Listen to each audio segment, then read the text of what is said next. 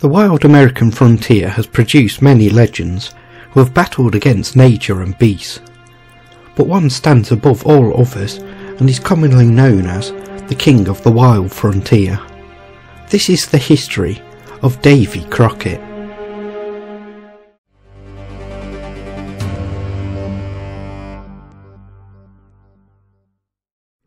David Crockett was born on the 17th of August 1786 in modern Greene County, Tennessee, and was named after his grandfather, who had been killed in 1777 at their home near modern Rogersville by Creeks and Chickamauga Cherokees led by War Chief Dragging Canoe. Davy's father, John, was one of the over mountain men who fought at the Battle of Kings Mountain during the American Revolutionary War. After the war, John continually struggled to make ends meet and the Crocketts moved to a tract of land on Lick Creek in 1792. John sold that tract of land in 1794 and moved the family to Cove Creek, where he built a gristmill with partner Thomas Galbraith. A flood destroyed the gristmill and the Crockett homestead. The Crocketts then moved to Mossy Creek in Jefferson County, Tennessee, but John forfeited his property in bankruptcy in 1795. When Davy was 12 years old, his father indentured him to Jacob Siler to help with the Crockett family indebtedness. He helped tend Siler's cattle as a cowboy on a 400 mile trip to near Natural Bridge in Virginia. He was well treated and paid for his services, but after several weeks in Virginia, he decided to return home to Tennessee. The next year, John enrolled his sons in school, but Davy played truant after an altercation with a fellow student.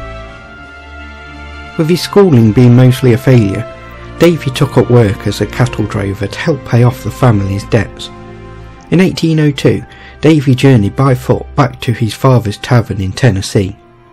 His father was in debt to Abraham Wilson for $36, equivalent to over $800 today, so Davy was hired out to Wilson to pay off the debt.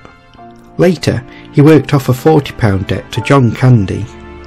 Once the debts were paid, John Crockett told his son that he was free to leave. Davy returned to Kennedy's employment, where he stayed for four years.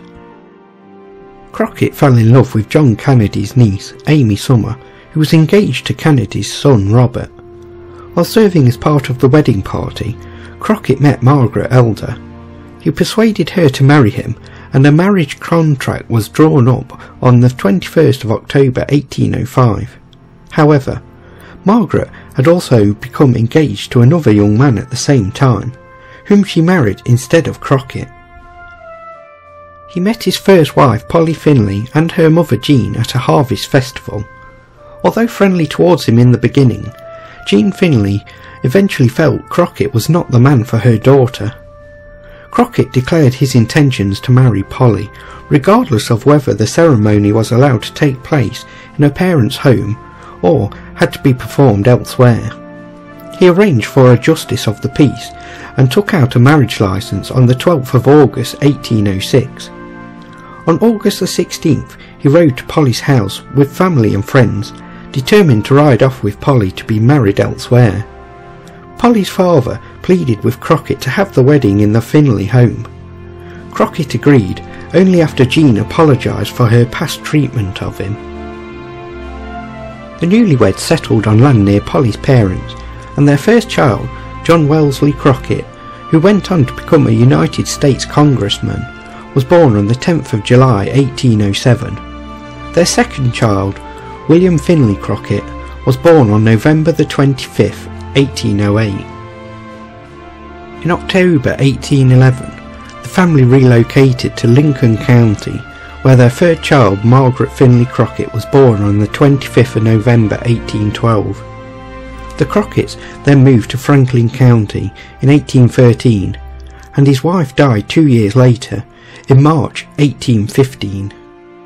Needing help with the children, Davy asked his brother John and sister-in-law to move in with him, and that same year he married the widow, Elizabeth Patton.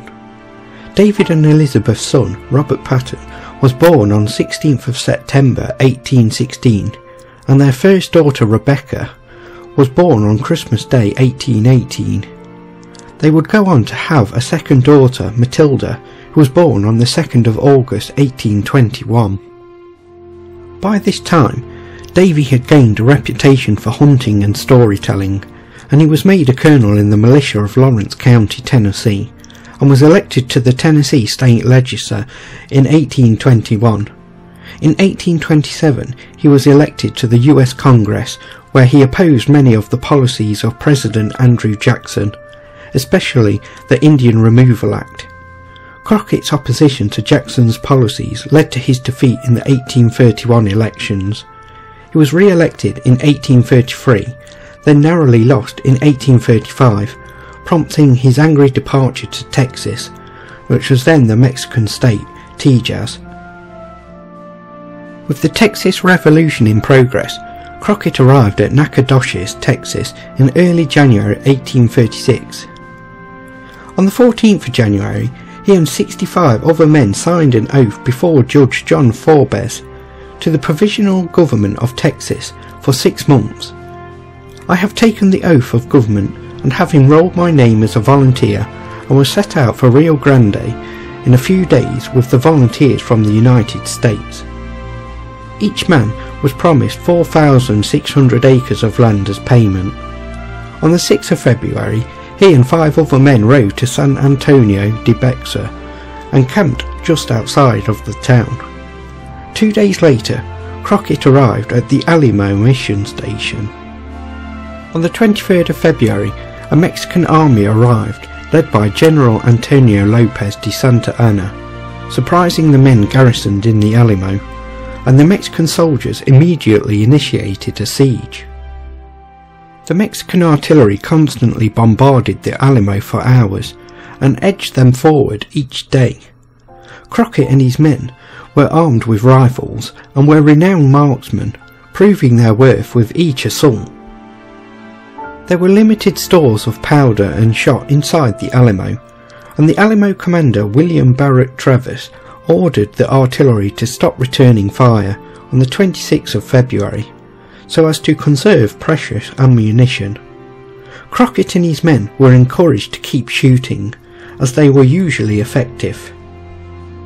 The siege ended on the 6th of March when the American army attacked just before dawn, while the defenders were sleeping. The daily artillery bombardment had been suspended, perhaps a ploy to encourage the natural human reaction to a cessation of constant strain. But the garrison awakened and the final fight began. Most of the non-combatants gathered in the church for safety, and according to one report, Crockett paused briefly in the chapel to say a prayer before running to his post.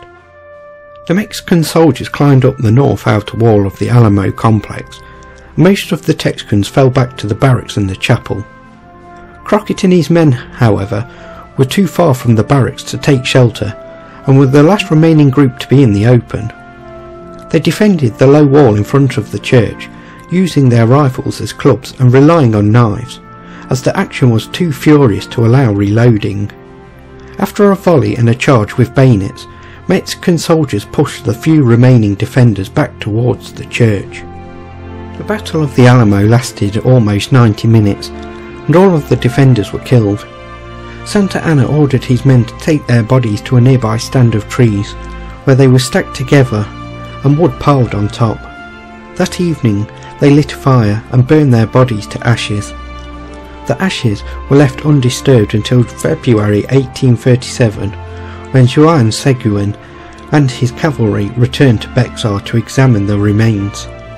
A local carpenter created a simple coffin and ashes from the funeral pyres were placed inside. The names of Travis, Crockett and Bowie were inscribed on the lid. Crockett's fate at the Alamo is hotly contested and all that can be said with any certainty is that he died at the Alamo on the morning of the 6th of March 1836 at the age of 49. Accounts from survivors of the battle differ on the manner of Crockett's death, with stories ranging from Crockett putting up a heroic last stand to the account that he surrendered along with several other men and was executed. Davy Crockett became famous during his lifetime for larger-than-life exploits popularised by stage plays and books. After his death, he continued to be credited with acts of mythical proportion. These led into the 20th century to television and film portrayals, and he became one of the best known American folk heroes.